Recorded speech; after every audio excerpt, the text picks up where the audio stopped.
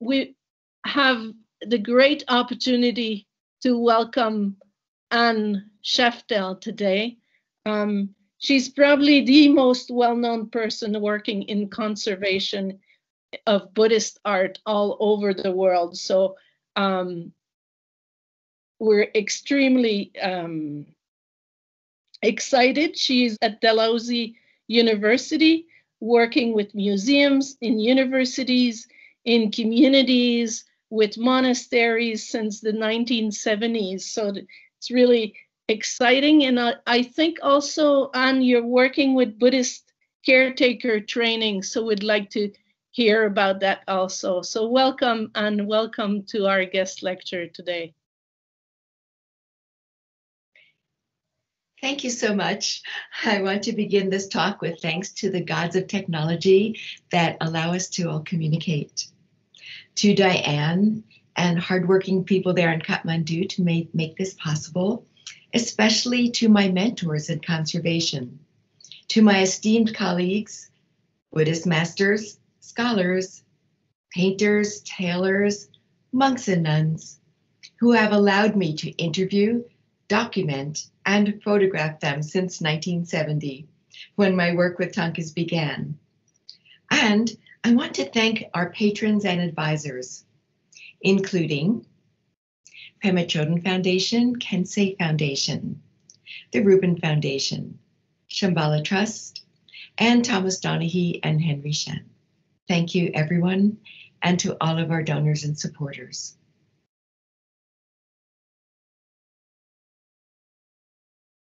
Thangka conservation in monasteries is as complicated as the Thangka form itself.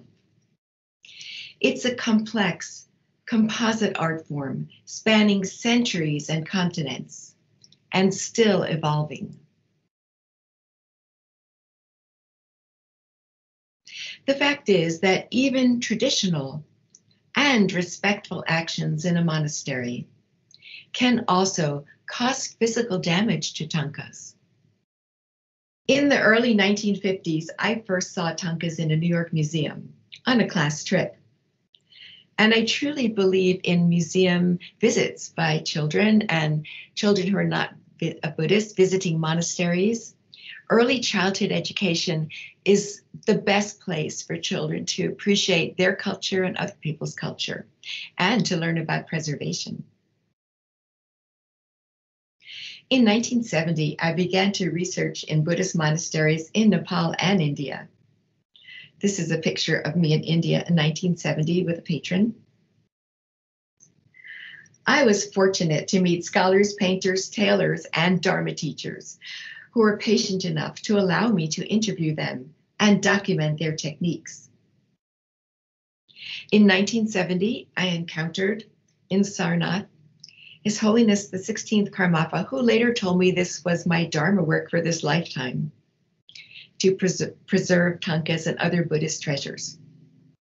And then I had to go to graduate school for 10 years to learn how to do it properly.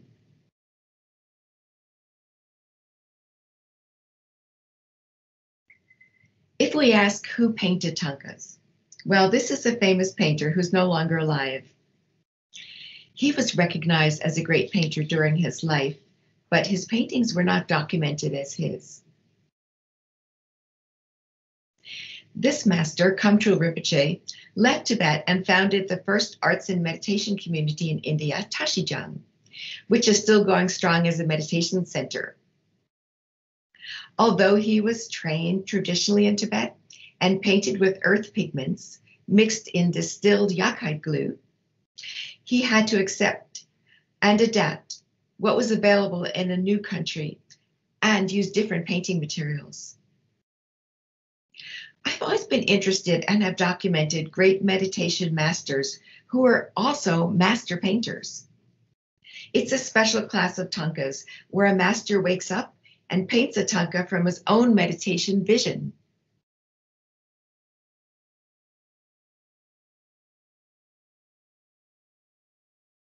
In 1970, when I met the previous Karmapa and also the eighth Khamtrul Rinpoche, I also went to Tibet House in Delhi to research Tankas and encountered Gelek Rinpoche. Gelek Rinpoche was a scholar in Tibet House in 1970, and his wife, Daisy, was the director. He was so generous with his knowledge, and in 1970 talked to me for hours about Tanka technique, and especially how Tankas are painted to look old for sale, what we call fakes. He was very generous with his knowledge. In 1970, I visited in Delhi the National Museum Conservation Lab. It looked like this then men wearing suits, enacting chemistry. This was one of the first conservation labs I saw in Asia. It's different now, but it was not welcoming to a young woman. But it is now.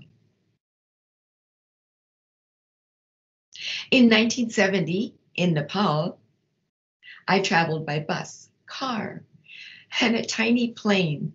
The plane had folding chairs that weren't even affixed to the floor. And I visited monasteries and documented traditional arts and interviewed Buddhist teachers and artists in 1970 in Nepal. Here are some of my Kodachrome images from then. And the interesting thing is that these images are probably familiar to many of you who are with us today.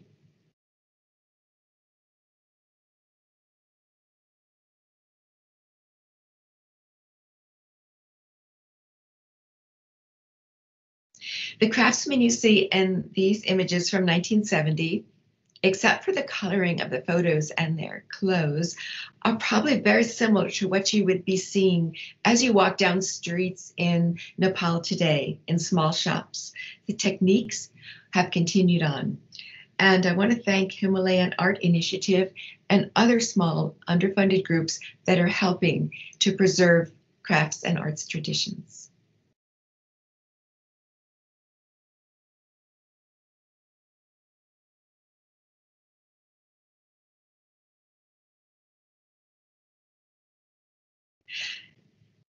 This is a, a more recent photo from, from Nepal. And Thangka mountings were made by tailors. And this continues on today. And this is modern. She is a woman tailor, and she is sewing a lot of the Thangka mountings for painters in uh, the Kathmandu Valley.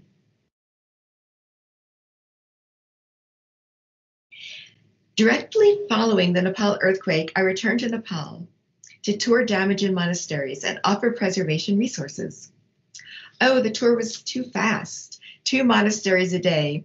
It would have been ideal to be able to stay in, with each for a month to work with them on preserving post earthquake disaster problems.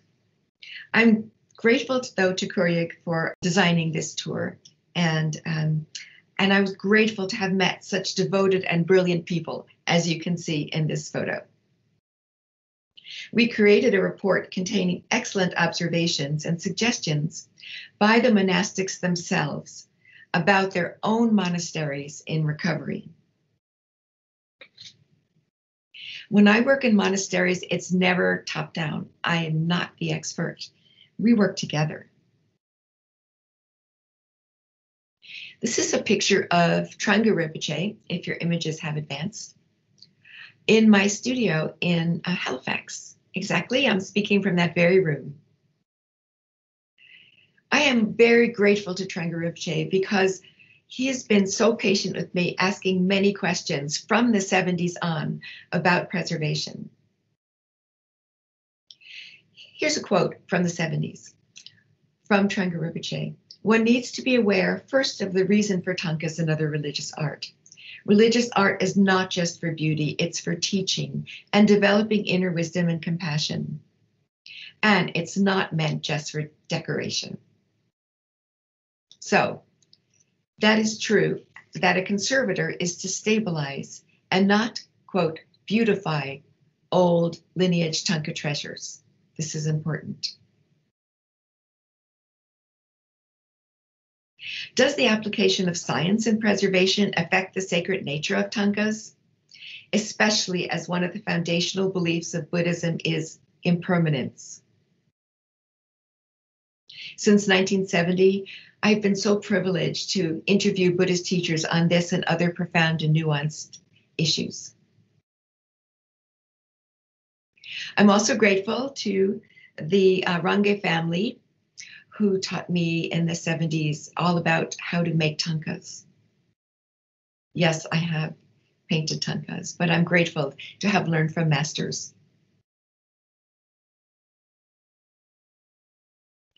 I do love working in fancy museums, but I love more working in remote monasteries. The more remote, the better.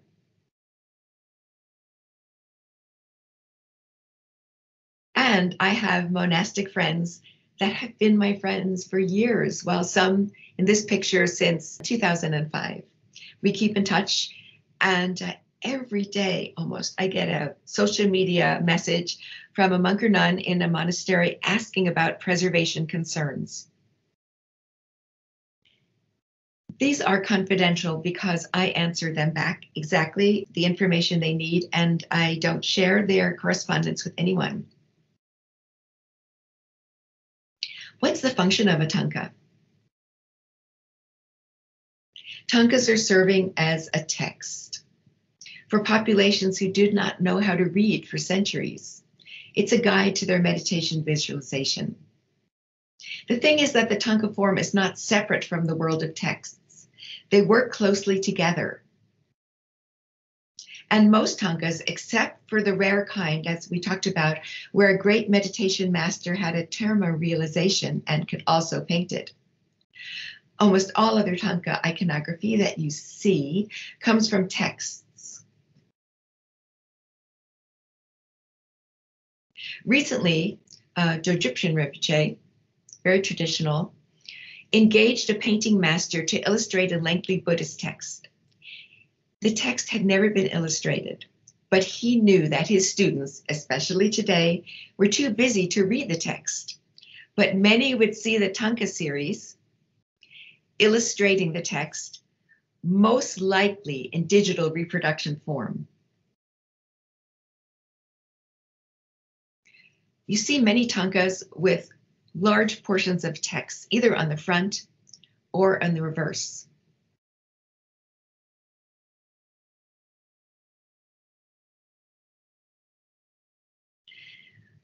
The thangka is a Buddhist religious object. It's in the form of a scroll. It's a very complex in its construction because it includes a painting, textile mounting, sometimes with leather corners, pendant ribbons, textile cover, a cord to hold up the cover, a cord to hang the thangka from, top and bottom wooden dowels, and a wooden or metal decorative knobs on the bottom and other things. A full thangka form is the painting and the mounting. This is an example of a full thangka form and some documentation on it. We'll be talking about documentation later. Thangkas are three-dimensional. They're like a sculpture. They're not flat.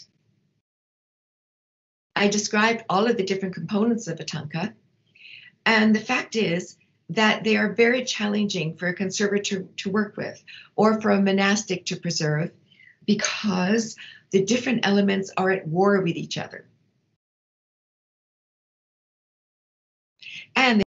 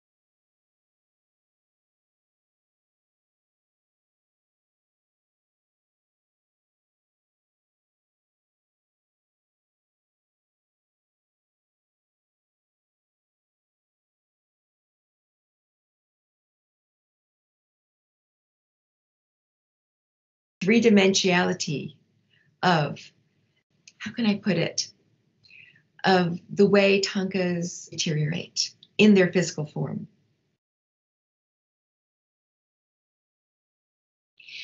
Because traditional tankas were painted with thick layers of hand ground pigment, the three dimensionality of the paintings themselves is significant. For example, in this painting, if you were to fly over it in a drone, you'd see, whoa, like you're flying an airplane. You'd see mountains, uh, rock formations, fields. You'd see lakes. And that's what it's like as we're looking at traditional Tanka painting. Science matters in preservation of Tankas because we have to know what the Tanka is made from in order to preserve it. On the left is a traditional Tanka painter in his gold robe. On the right is a current Tanka master. On the left, he had a whole uh, school full of apprentices to create his canvases, to distill the hide glue. glue. It took months to make his hide glue, to grind his pigments. On the right, the master painter does not have anyone available to do that, and he has to use some commercial pigments and paints. Is it a tanka if it's only the painting? Is it a tanka if it's only the textile mounting? The thing about high art is an overlay of aesthetics to tankas, to the original tanka form, in that many museums had only the painting displayed and that textile mountings were just thrown away. And I do have a study collection of many textile mountings from those times when they were being discarded. The Tanka Forum, it evolved because of the Gar. Great teachers and their monasteries would travel from valley to valley on the back of yaks, and everything had to be portable the tankas, the texts, the tents, the robes. And here's an example of a painting of a Gar.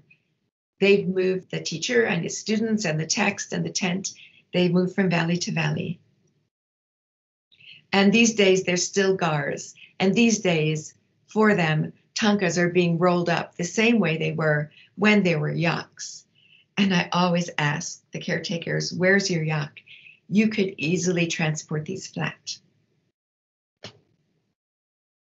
The tanka form evolved through the centuries and through locations, materials that are available just as statues have.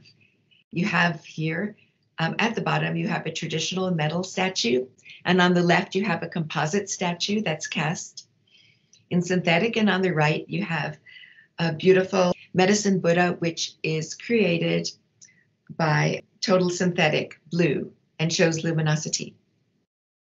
In the Tanka form, copying is very traditional. When a Tanka became old and very damaged, it was preserved, but a new one might be painted to share the iconography in the original primary colors.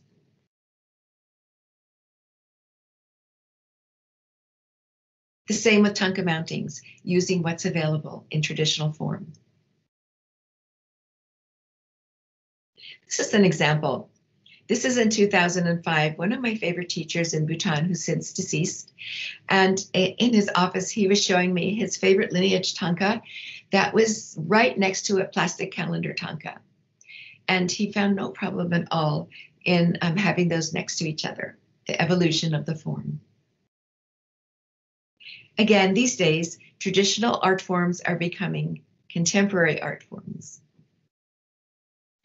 You have a tanka that has a traditional mounting and a printed painting you have all um, different sort of Chinese style with flocking. And then we have a lot of digital tankas these days, which are a whole different conservation concern, both for conservators and for monastics.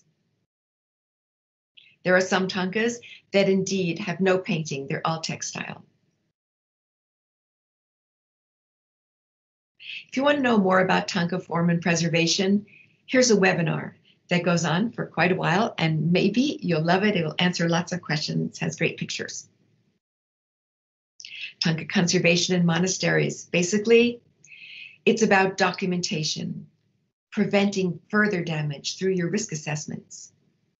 planning ahead for disasters, and planning how to protect your tankas and other monastery treasures with your team. Create safer storage. If necessary, stabilize the tanka form with small mends and stay connected with trusted conservation resources who are always at your beck and call, like myself. Tanka conservation in monasteries begins with documentation. Here, let's use this tanka as an example. What do you, all of you with us today, see in this tanka when you look at it? Some will see iconography. Some will see condition. Some will see other things about this tanka. For example, a monk I asked about this tanka, what did he see? He said he saw Amitayu practice, long life practice that the monks in his monastery are now doing. And he could relate it to a text which, which they were using. That's very traditional. I showed this to a gallery owner, and he said, an art gallery owner, he knows a lot about tankas. He says it's 18th or 19th centuries old. The price at a market for example, um, at an auction house in Hunker or New York or Paris would be probably $10,000 US. And then uh, another scholar talked about the iconography, showing that it's a Gelug iconography tanka. And the central figure is Amitaya, Amitayus Buddha with Ratnasambhava Buddha, uh, Shakyamuni Buddha. There's Namgyalma and White Tara, Vajrasattva and Vajrapani. That's a scholar and a monastic. As a conservator, I research and document the history of this tanka. I want to interview elders in the monastery who might know its history. This is really important for conservation of tankas in monasteries, your research and documentation. You want to ask the elders, when did it arrive in the monastery? How did it arrive? its use and storage. You want to measure it, write description of its condition, do digital photography with lots of light sources, and samples perhaps for scientific testing. Documentation is so important. And in treasure caretaker training, we do workshops on easy documentation for the monastics with their own smartphones. It's so easy. And video interview of elders who know the history of your monastery tankas. Now, the workshops are ongoing. I worked in one monastery in 1991 with tanka caretakers. 2005, 2008, 2012, 2014, 2016, and I continue to visit there and I'm available to their current caretakers. And that's because caretakers change. Many monasteries have no documentation or inventory of their tankas at all, partially due to confidentiality, due to the waning tradition of oral transmission. And the caretakers are moved frequently to other roles. Everyone that I've worked with in monasteries who's done documentation with us really loves it. I think you'll recognize some of the monks and nuns in these pictures doing their documentation of their own monastery treasures. They have their list of what you write in your documentation, either written or on your computer or smartphone. Take pictures and label them. He's an excellent documenter.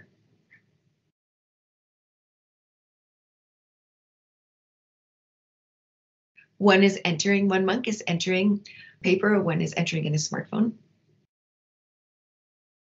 And these nuns, well, they're all documenting and writing. This tanka, which came from the nunnery of one of the nuns, and it was the prize tanka of that nunnery. Our treasure caretaker training workshops are sustainable. This is a nun from the 2005 picture, and now she's teaching monks how to do documentation of their own tankas. Again, we want to prevent further damage through risk assessment, first documentation, Then risk assessment. You want to plan ahead for disasters. How to protect Tankas and other monastery treasures during a disaster takes planning. Plan who's on your team and what your predetermined Tanka priorities are. Risk assessment is quite important, and we have our risk assessment documents translated into several languages. It works well within monasteries and nunneries because monks and nuns are so practical and totally can relate to events that happened in all the risk categories in their own monasteries. Rodents, rain, water. An upcoming Zoom we're doing with Buddhistdoor Global is all about risk assessment for monasteries and Dharma leaders. Please join us for that on December 15th. Conservation in monasteries, how do things fall apart? It relates to both the nature of the tanka form and traditional use in monasteries of tankas. Tankas are found in monasteries everywhere. Different styles of tankas, um, old, new, so many different kinds. Some are very old traditional, uh, some are uh, recently painted, and some are digital. Traditional use for all of them creates damage from very respectful and devoted handling and storage. Here's the butter lamp and incense, creating smoke and grit, which darkens a lot of tankas.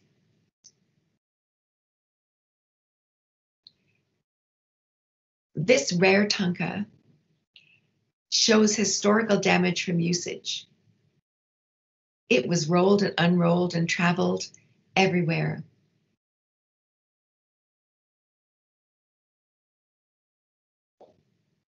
In storage, it's not like storage like museums. Storage in monasteries, everything is still sacred in storage. And there's a lot of devotion in storage areas. In monasteries, sometimes tankas on display in the shrine room are the last thing you're thinking about. Here, this is a, a Nyingma lineage leader, and it was his last tour of monasteries before he died. He knew he was dying. And everyone from the village crowded in from the surrounding monasteries. And the tankas were rubbed against by children and um, monks and nuns and everyone.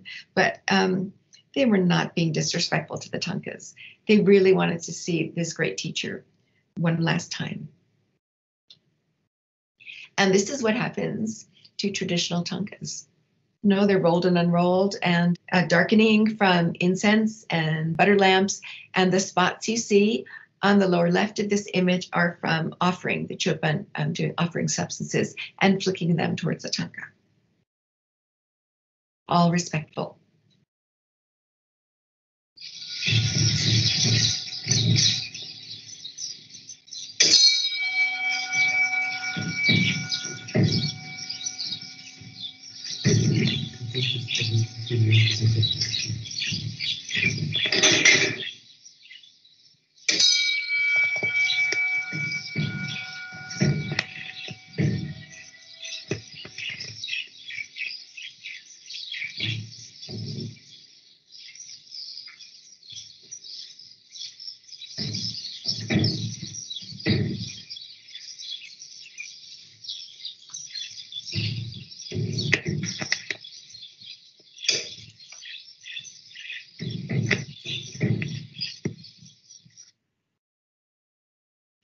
show you that um, video because it, it, looks like a wall painting, but it's actually a great a painting by a, a tanka painting by a great tanka master that was uh, displayed on a wall in a money house. And there's a lot of damage by people rubbing against it, children scratching it, insect and excrement, as well as the artist was concerned, so he applied varnish of an unknown substance that later darkened. Later, clear tape was added at the edges. I think that paintings on walls, unless they're painted directly on the wall, are a concern the same way Thangka paintings are. And yet, Thangka paintings um, themselves uh, are sometimes damaged by being against a wet wall. For example, in this cave, just as there are many Thangka forms, there are also monasteries and nunneries where the Thangkas live. The damp cave wall and the humidity in the cave are definitely having an effect on this Thangka, but it's not a museum. This Thangka is used. It's being used for its purpose, and that's why it's there.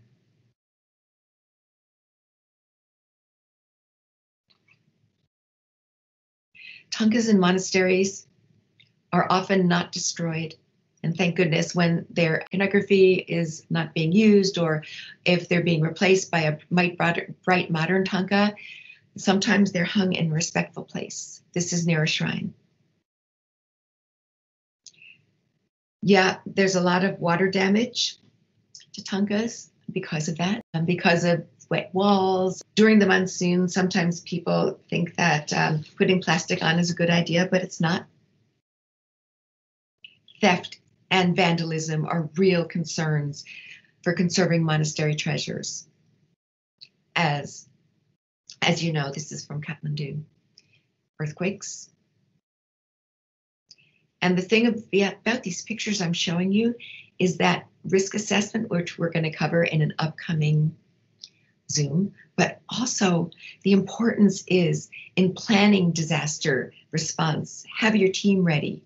Know where the most valuable treasures in the monastery are, where your resources are, and also know how to avoid damage like fire. You'll see me standing under some wires in Kathmandu in a popular corner. And I show this because electrical fire can be quite damaging in monasteries. This entire traditional monastery, centuries old, burnt down. All the Thangkas were destroyed because of bad electrical wiring.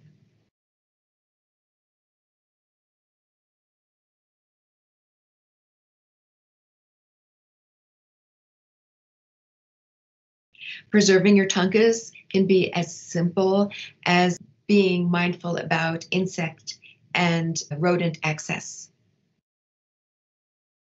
Some monasteries are half indoors, half outdoors, so birds have a lot of access. You can clean this. Light can be very damaging. Of course, there are still some um, of these old fluorescent tubes. We're replacing them with LED.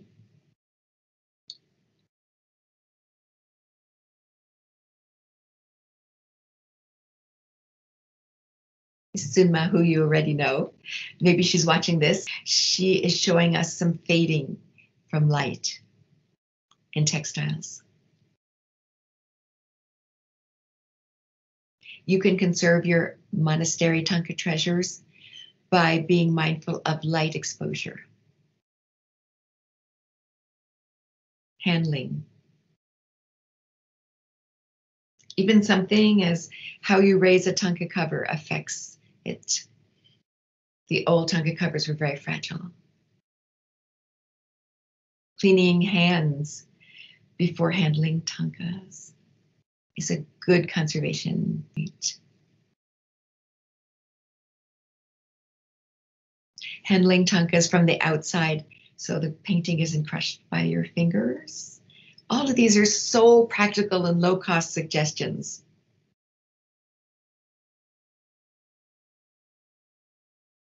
You can prevent further damage through safer storage in your own monastery, and we'd love to help design monastery storage room, low cost and practical.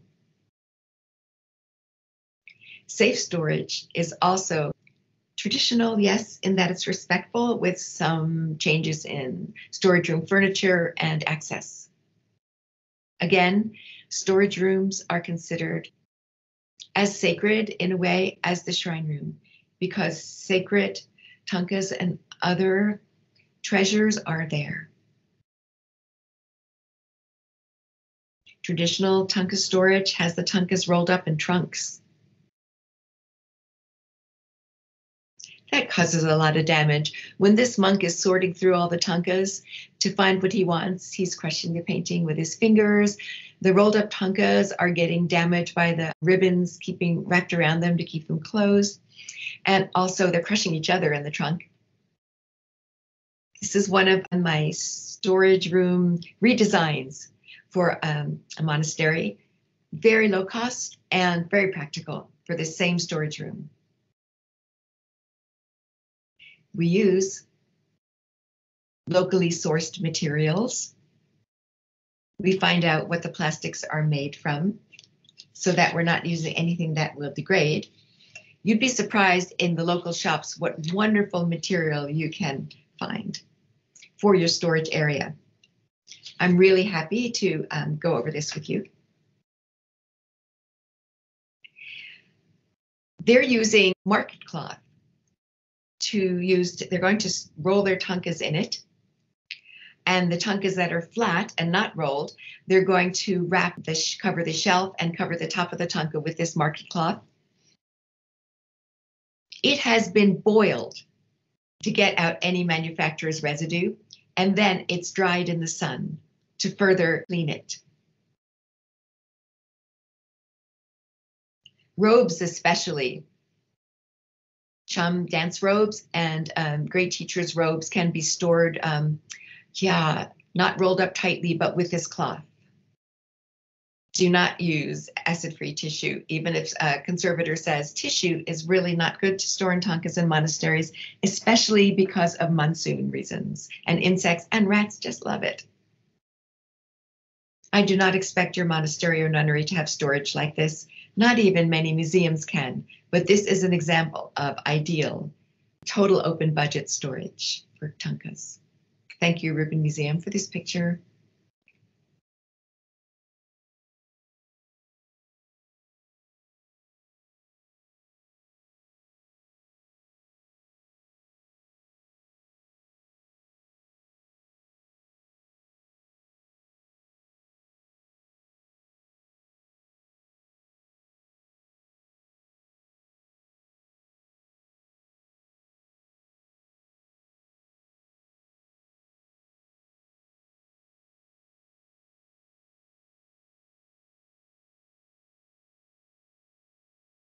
Monastery museum like this, where it's interesting. It's in a museum, it's a shrine room, and of, of many lineages. And uh, the lighting is low, there aren't insects, the temperature and relative humidity is controlled. It's almost perfection for uh, conservation of tankas and other things in it. Uh, hard to achieve, though, within most monasteries, especially in the concrete buildings and old stone buildings.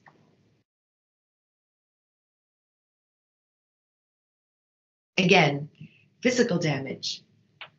It's not intentional, it's traditional. We're not blaming monasteries. Look at this tanka, series um, of Milarepa tankas. They're very beautiful.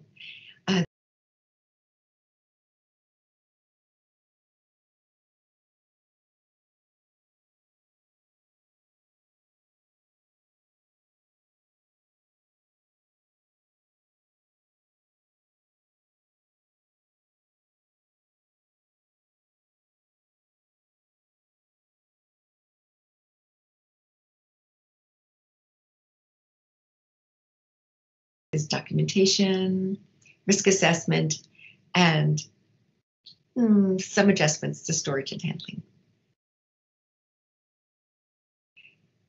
This caretaker is so traditional, he's covering his mouth so he doesn't breathe on them. He's using a khata. But the tankas are damaging each other by crushing each other with their own weight.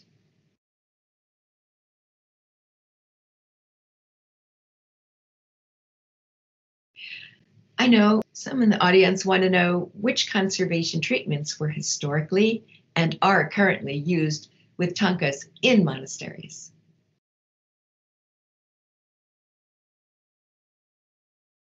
Very few, as a matter of fact.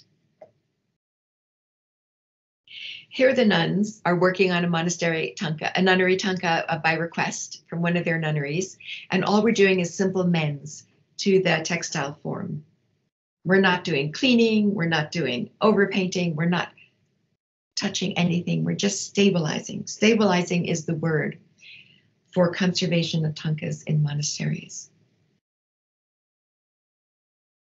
Never try to make a historic tanka look like it was painted today. Tankas are not dirty and cannot be cleaned. There's no varnish layer like there is in Western paintings. It's never successful to try to clean and update a historic tanka. You just create permanent damage. If you want a new looking tanka, be traditional. Have a new tanka painted. Conserve historic tankas by preventing damage. From a conservator's perspective, I believe in stabilizing and respecting the historical um, usage of a thangka as a sacred art form.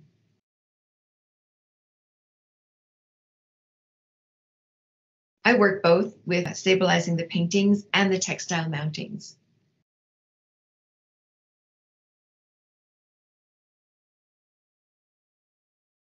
I do use contemporary and synthetic materials so that anybody looking at it will be able to find out in the future what was original and what was not. Plus, everything I do is reversible. When you're recreating thangka mountings, please try to stay and respect the original form of it. Not all thangka mountings are the same.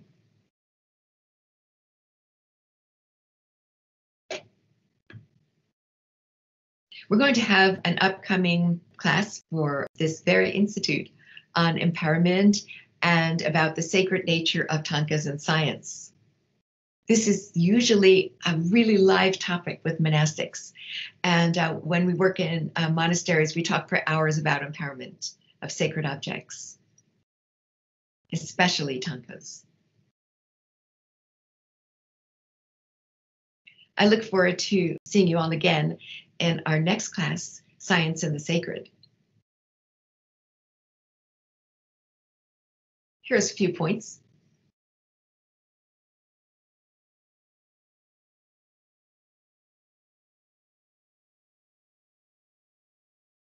In summary, conservation of tankas in monasteries is about preventing damage, safer storage, and documentation.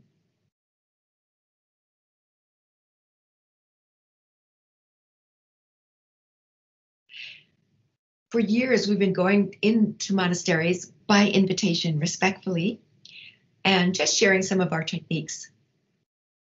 And the thing is that since we can't travel right now, we are creating a free online digital resource, monks and nuns, written in direct response to their own questions about preservation of tankas and other monastery treasures every day when I receive um, confidential questions about how I care for this thangka or this statue or my robe is torn, uh, the teacher's robe is torn, I uh, write down that question and make sure it's included in our free online preservation of Buddhist treasures resource. The gods of technology have been favorable to us today. And I thank you for joining me in this class about Thangka conservation in monasteries. And I certainly look forward to your questions. Thank you so much. Thank you, Ann. And I think I it, it feels like we've um, traveled. Hello. much. that was wonderful. Um, so uh, anyone who has a question, you should um, raise your hand um, that would be helpful. I can start with one maybe for you, Ann. What is the fabric that you were talking about that is being used? I couldn't make up the word.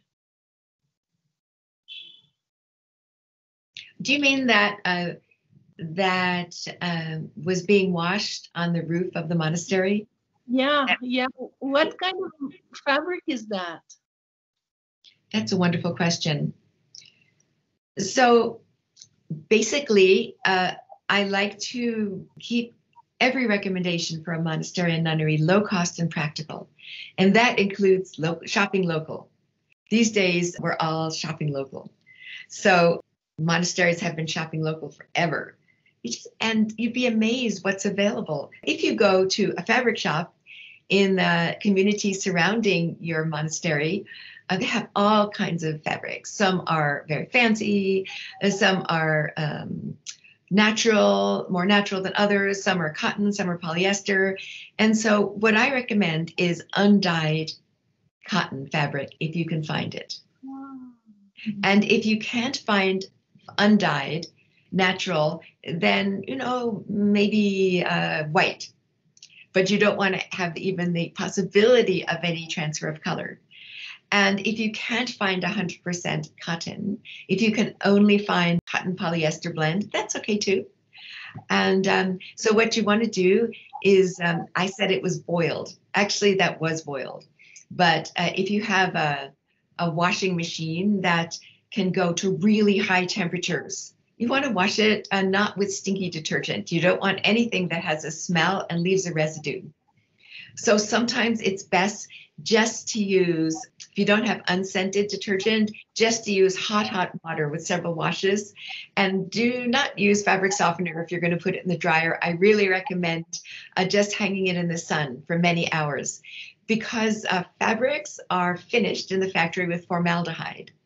And formaldehyde off gases and can really damage your tankas. So you want to cleanse your market fabric of any manufacturer's residue like formaldehyde or any dye before you use it.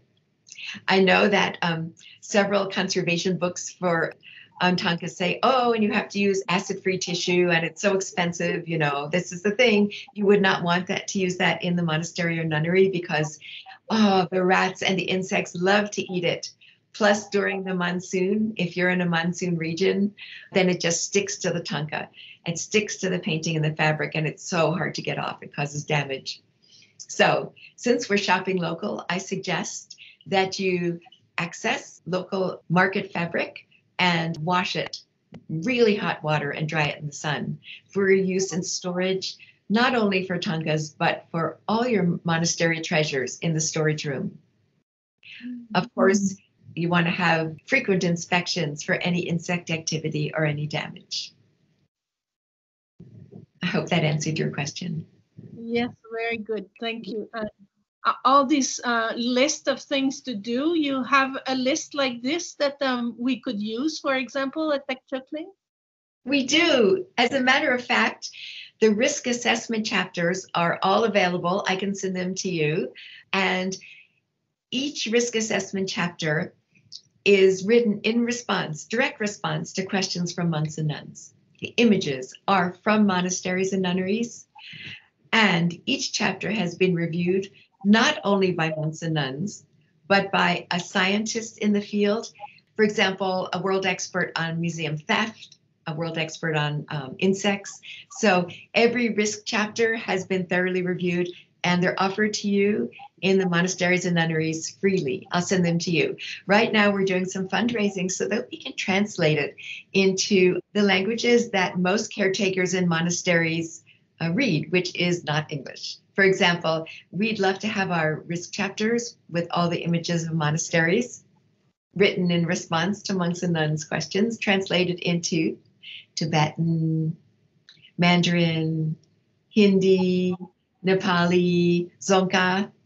So this is uh, one of our goals for our fundraising for the end of this year, because sending an English document to a caretaker in a remote monastery might not be that effective. We're currently working on the 500 uh, page chapter about Tanka conservation.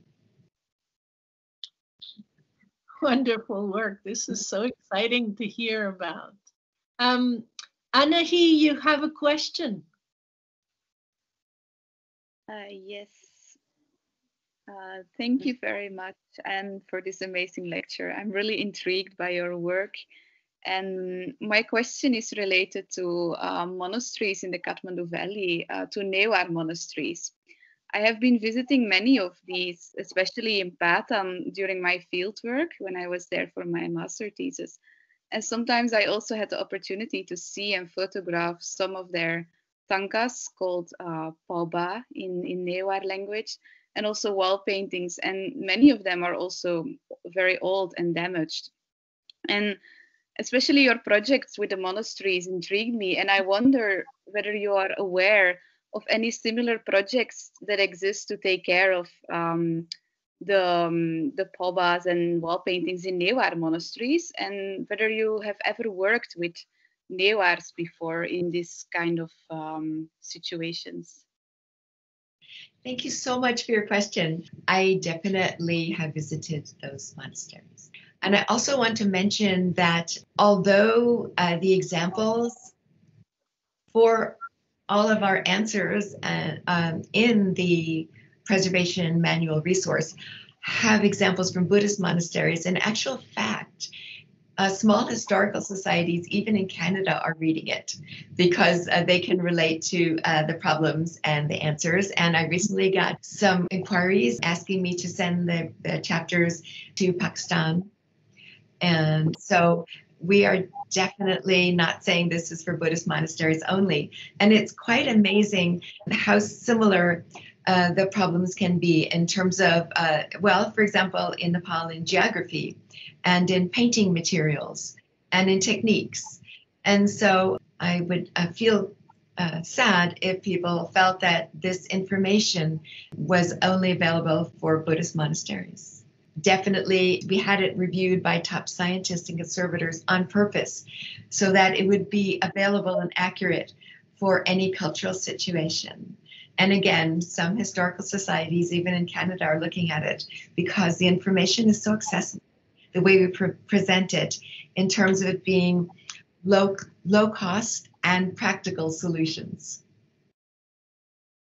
That's great to hear. Thank you very much. So I think I've been talking a long time. And what I'm looking forward to now is connecting with each one of you privately. Um, and you can arrange to Zoom with me or uh, Teams or whatever you like.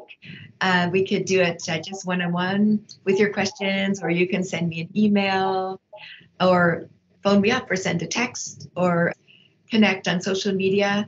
I certainly look forward to your questions and helping you uh, with some very humble, practical, and low cost solutions that come from 50 years of experience, but also come from and are guided by my Buddhist teachers and my conservation mentors. After all, the world is a place where we work together on this and we share information and that's why I'm so grateful to be able to have shared my some of my information with you today in this class.